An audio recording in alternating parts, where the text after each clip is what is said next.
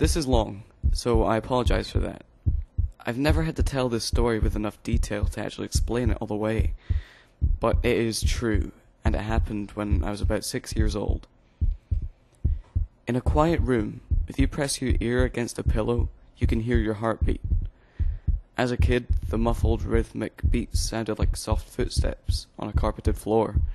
And so, as a kid, almost every night, just as I was about to drift off to sleep, I would hear these footsteps, and I would be ripped back to consciousness, terrified. For my entire childhood, I lived with my mother in a fairly nice neighborhood that was in a transitional phase. People of lower economic means were gradually moving in, and my mother and I were two of these people.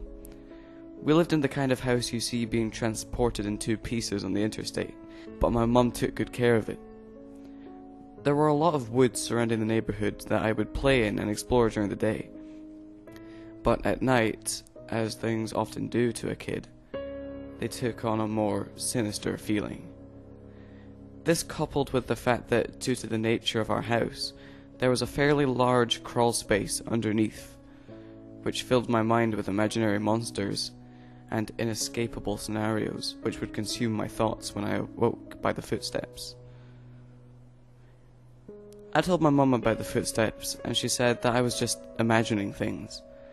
I persisted enough that she blasted my ears with water from a turkey baster once just to placate me, since I thought that would help. Of course, it didn't. Despite all the creepiness and footsteps, the only weird thing that ever happened was that every now and then I would wake up on the bottom bunk, despite having gone to sleep on the top. This wasn't really weird since I'd sometimes get up to piss and could remember just going back to sleep on the bottom bunk. I'm an only child, so it didn't matter. This would happen once or twice a week, but waking up on the bottom bunk wasn't too terrifying. But one night, I didn't wake up on the bottom bunk. I heard the footsteps, but was too far gone to be woken up by them. And when I was awoken, it wasn't from the sound of footsteps or a nightmare. Just because I was cold. Really cold. When I opened my eyes, I saw stars. I was in the woods. I sat up immediately and tried to figure out what was going on. I thought I was dreaming, but that didn't seem right. Though neither did me being in the woods. There was a deflated pool float right in front of me, one of those ones shaped like a shark. This only added to the surreal feeling, but after a while it seemed like I just wasn't going to wake up because I wasn't asleep. I stood up to orient myself, but I didn't recognize these woods. I played in the woods up by my house all the time, so I knew them really well. But if these weren't the same woods, then how could I get out? I took a step and felt a shooting pain in my foot, which knocked me back to where I had be- just been laying. I'd stepped on a thorn. By the light of the moon, I could see that they were everywhere. I looked at my other foot, but it was fine. As a matter of fact, so was the rest of me. I didn't have another scratch on me, and I wasn't even that dirty. I cried for a little bit and then stood back up. I didn't know which way to go, so I just picked a direction. I resisted the urge to call out since I wasn't sure I wanted to be found by who or what might be out there. I walked for what seemed like hours. I tried to walk in a straight line and tried to course correct when I had to take detours, but I was a kid and I was afraid. There weren't any howls or screams, and only once did I hear any noise that scared me. It sounded like a crying baby. I think now that it was just a cat, but I panicked. I ran veering in different directions to avoid big thicks of bushes and collapsed trees, and I was paying close attention to where I stepped because by that point my feet were in pretty bad shape. I paid too much attention to where I was stepping and not enough to where those steps were leading because not long after because not long after hearing the cry, I saw something that filled me with a kind of despair I haven't experienced since. It was a pool float. I was only ten feet from where I'd woken up. This wasn't magic or some supernatural space bending. I was lost. Up until that moment, I thought more about getting out of the woods than how I got in but being back at the beginning caused my mind to swim. I wasn't even sure that these were my woods. I'd only been hoping that they were. Had I run in a huge circle around that spot, or did I just get turned around and start making my way back? How was I going to get out? At the time, I thought the North Star was just the brightest star, so I looked up and found the brightest one and followed it.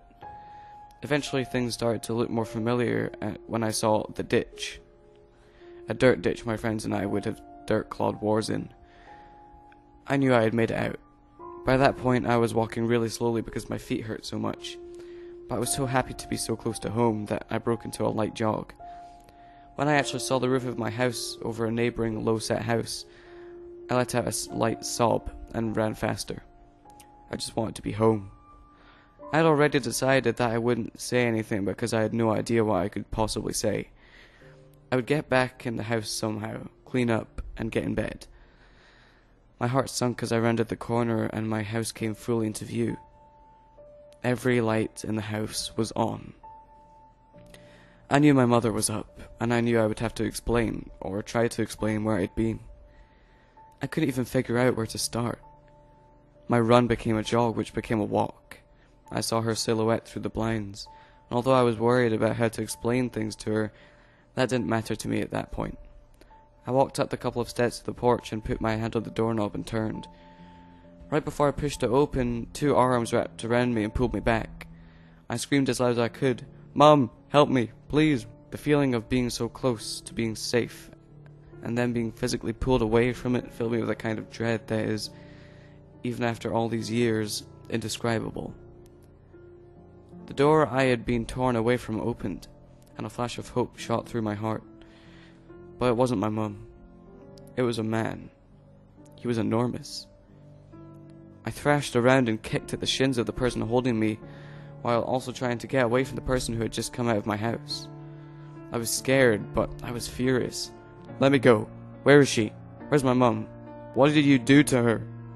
As my throat stung from screaming and I was drawing in another breath, I became aware of a sound that had been present for longer than I had perceived it. Honey, please calm down. I've got you. It sounded like my mum.